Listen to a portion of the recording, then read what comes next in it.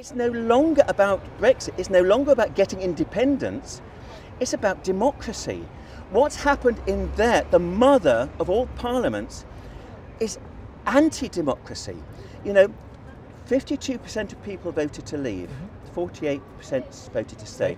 If that were on a first past the post system, 64% of consti- parliamentary constituencies would have voted to leave. 64%. That's the way our system is, uh, as, as you're aware.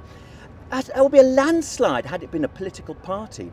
And yet, 85% of members of parliament want to stay, and they have done their best to deceive us and to overturn at every possible juncture, overturn the will of the people.